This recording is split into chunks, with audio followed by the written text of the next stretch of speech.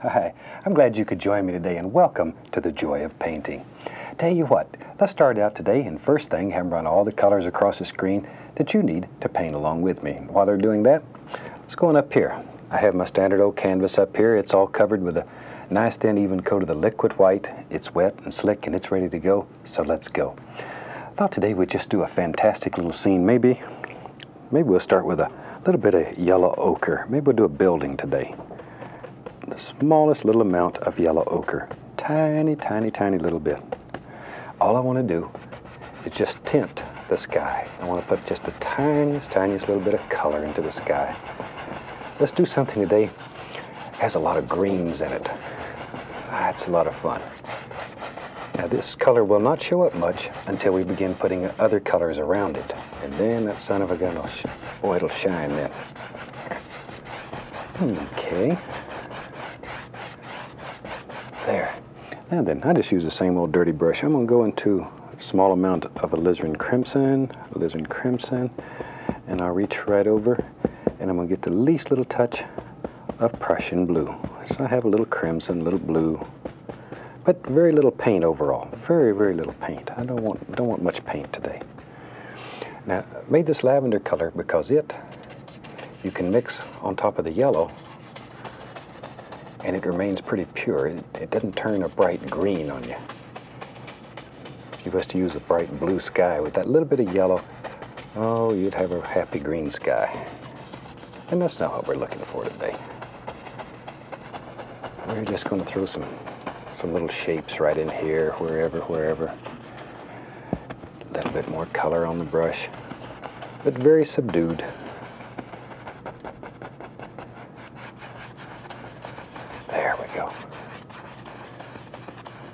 Think I'm going to cover most of this up with some big old trees and stuff, but a little of it will show through. So that's the reason we're putting this here, but we don't have to spend a great deal of time working on it and worrying about it, because we're going to cover, as I say, most of it up. There we are. Something like so. Okay. That gives us enough sky for what we're looking for today let's have some more fun. We'll go into some black, a little bit of black. Be right back. Get a little bit of the yellow ochre, black and a little yellow ochre. Reach right down here, be right back with some white. There we go. So we have black, a little yellow ochre, and some white. Gives us sort of a greenish color. Now, if it comes out too green, add a little crimson to it and that will dull it. There, I don't want it too bright yet. Okay. Now then, we have to start making some big decisions in our world. Let's just start putting in some background color for some happy little bushes and shrubs and there. I'm just using the corner of the brush and tapping downward. Just sort of let these things just happen. Maybe. Yep, there's one right there. But you can make these little trees as full or as thin as you want them tall or as short, dark or as light. Just using the corner of a two inch brush. That's all you need. Maybe into our world, maybe right here lives another tree. See, that's all there is to it. This is sort of a greenish color, but it's not a bright green. It's very dull, very subdued. There. Okay, a little more more color and let's go right here. What the heck? Maybe there's just several layers of trees here. A little more. Hmm. This is a fantastic way if you want to make a scene that looks like it's deep, deep in the woods because you can put layer after layer of trees just by doing that and you really have done very little work.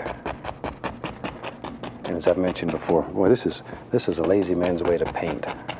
I look for easy ways to make painting work. And we try to pass those on to you. There. As I say, I thought today we'd do a nice building. I get a lot of a lot of requests. People want to know how to paint certain types of buildings. In fact, in our newsletter, I just I just did a whole article devoted to nothing but buildings to try to help people out there. I can go into to much more detail than I can here. But if you learn how to do one basic building, then from that you ought to be able to do about any kind of old building. Okay, that gives us some background material.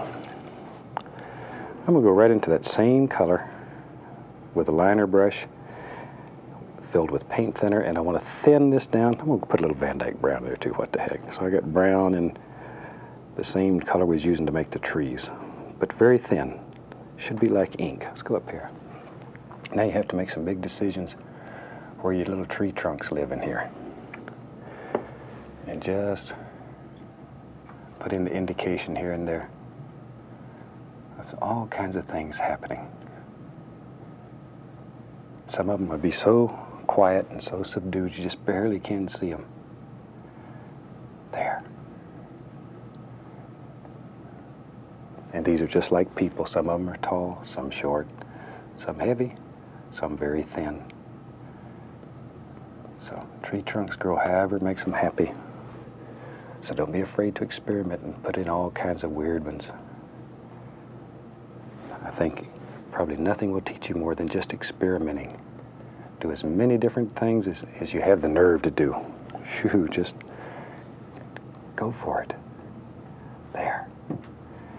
Sometimes you learn more from mistakes than you do from trying so hard. So anytime you anytime you make a mistake, before you get upset with it, look at it. Sometimes those mistakes turn into be the best learning devices we have. There we are. And I mentioned on one of the other shows, maybe even a different series, I don't remember, I get letters from people who say they're just not satisfied with what they're doing, that their paintings just, they're just not coming out the way they want them. And I think if there's a secret to human nature, it's the fact that we aren't satisfied. We're never satisfied. I hope you're, I hope you're absolutely plagued with dissatisfaction through your whole life. Because if you are, you'll always strive to do better. And over and over, I tell my students, if you ever do a painting you're completely satisfied with, you might as well quit. Because you have nowhere else to go. There. And the next one that I do is going to be my masterpiece. Probably won't be this one, but the next one. And I'm just jumping all around here and putting in all kinds of just little things. There. Now then. I'm just going to grab that same old brush. What the heck? Go right back in some black. Grab some of that yellow ochre. But this time I'm going to have a little more of the ochre crimson. So I got black, yellow ochre, crimson, but a little, little bit more of the yellow ochre, so it's a little more greenish. And then we can, with that, we can just put the indication here and there of some highlights. Still using the same old brush, doesn't matter. The one inch brush would work fine, or the round brush. There. Whichever one you like. I like this old big brush because it's faster, that's all. Here and there and there and here, here we go. Think about shape and form. Drop them rascals in there. There. A few little bushes that live back in there. There's another one. Mm. There we are. A few right there. See, it pushes all those sticks and twigs back and gives dimension to your woods. And, and that's what you're looking for. So all those fantastic little effects, it just, they happen. I've painted thousands and thousands and thousands of paintings, and I still get excited about this when I watch it happen.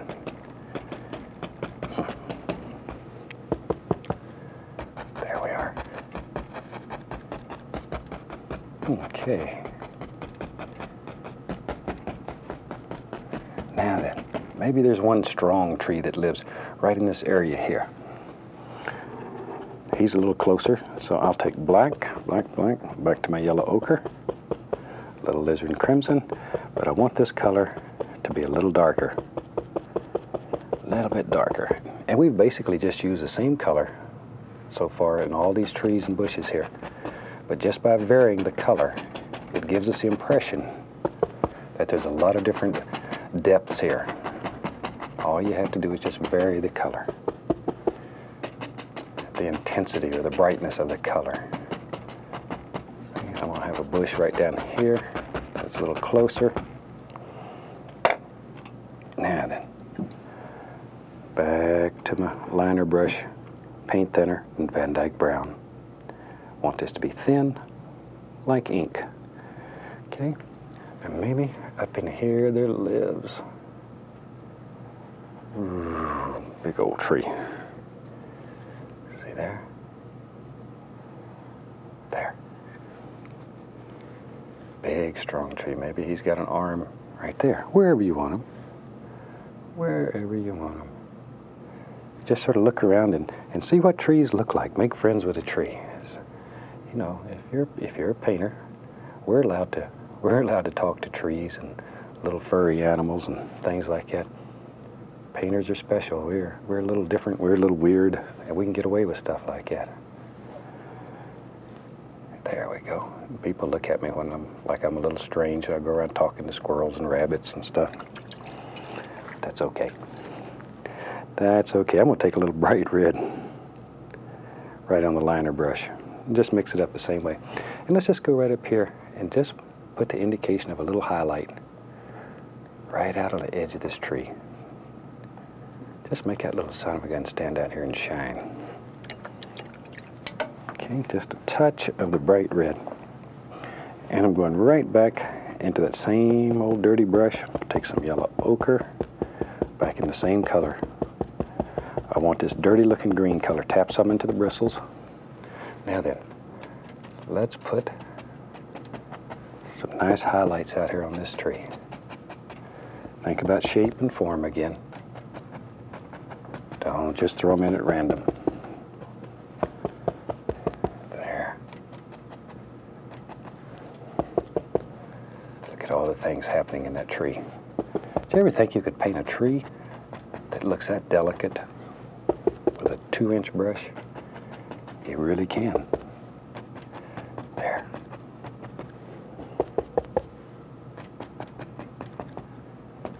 Okay, maybe down here, we'll put a little highlight on this rascal, don't want him left out. Now then, let's get crazy. I'm going to fill this whole area up with color.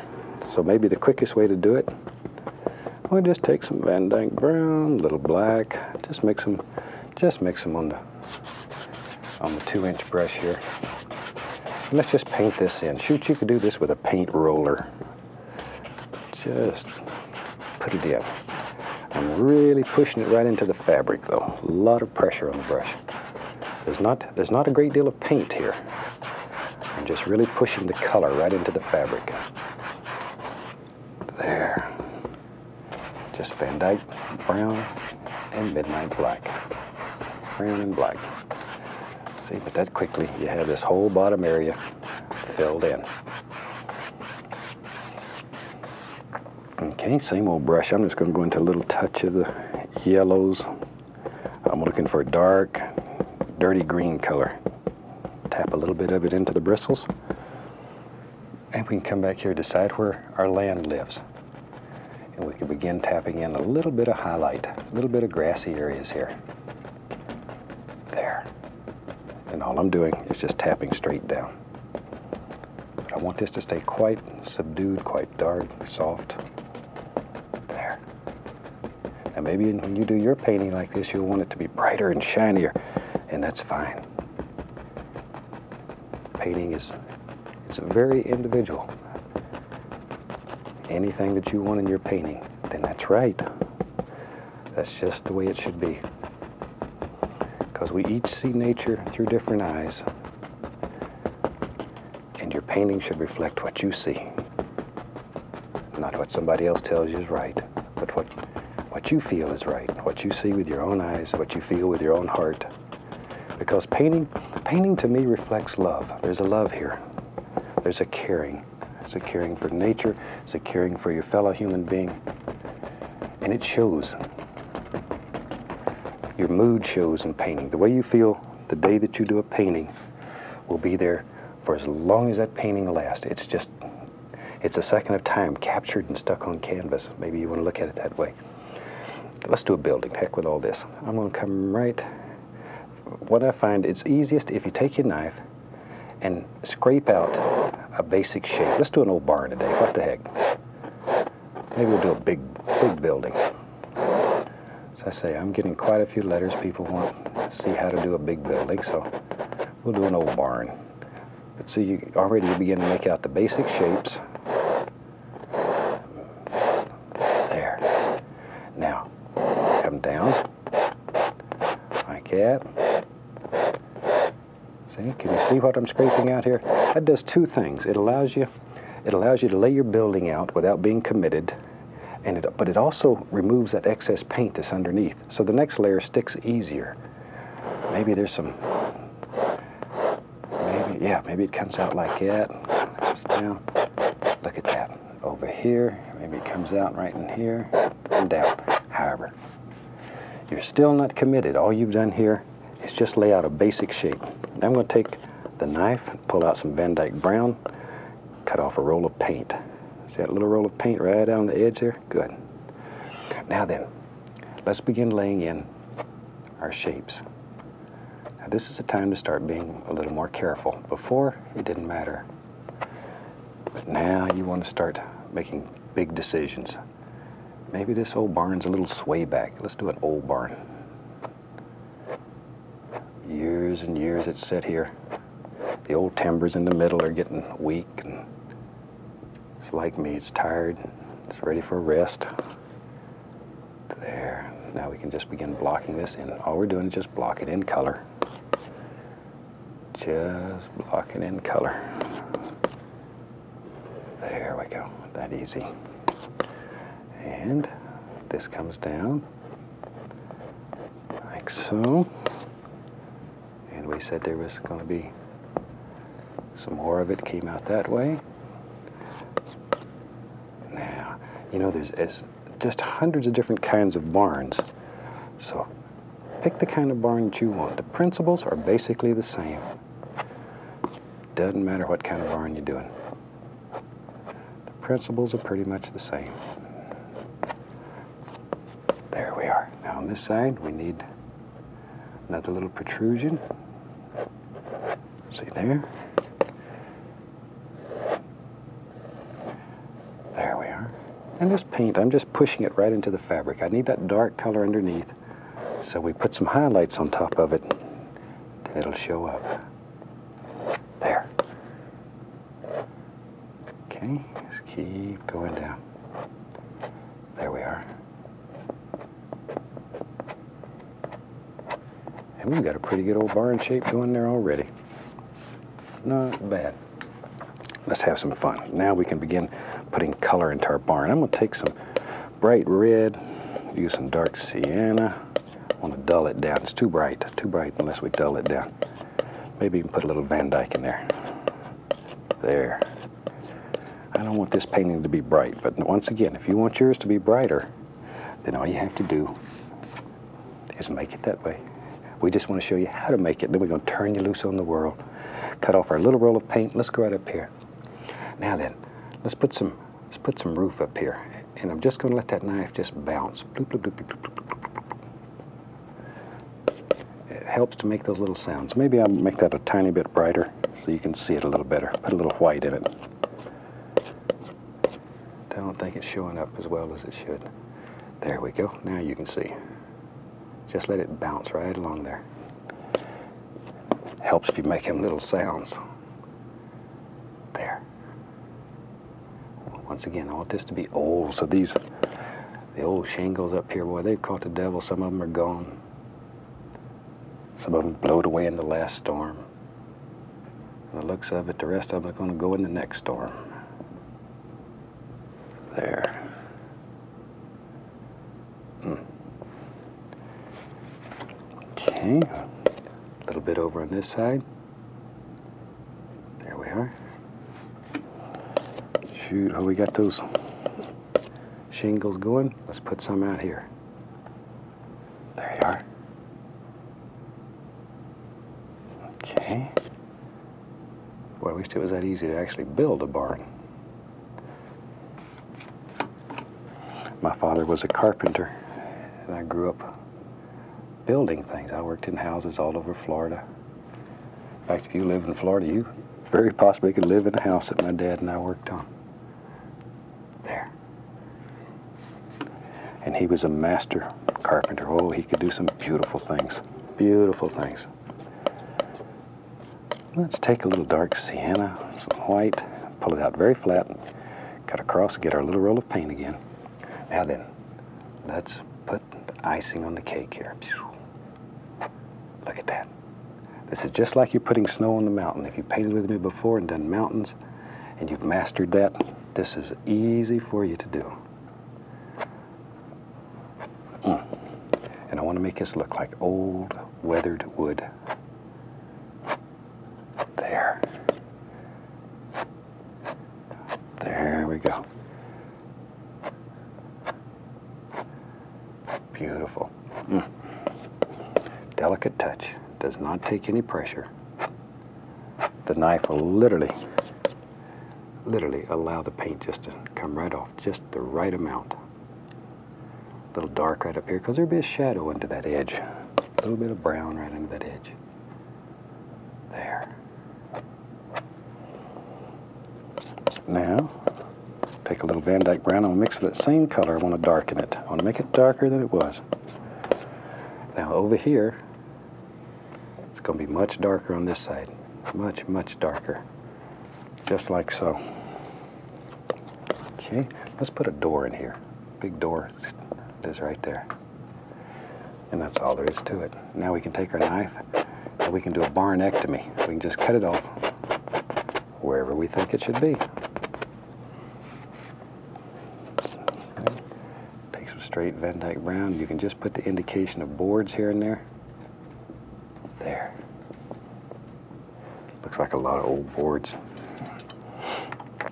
Now then, let's have some fun. We'll put some dark green grass all around his foot. Begin bringing that all together, just using a two inch brush.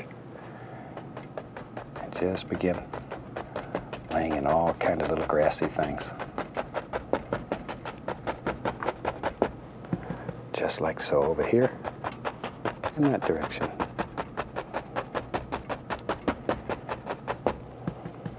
I'm just using cad yellow, little Indian yellow, little yellow ochre here and there, and work in layers.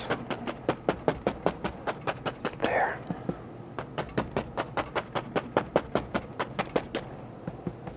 Okay, back to the other side.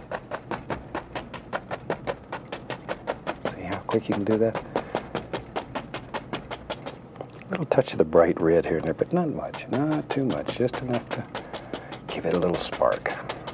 I want this to remain very subdued in the foreground here. Don't want it to get too bright. There we go. Now we take some Van Dyke brown on the knife. And maybe here and there you can see what remains. There used to be an old path here. And the grass is beginning to grow up over it. But here and there, little of it remains. Just a little.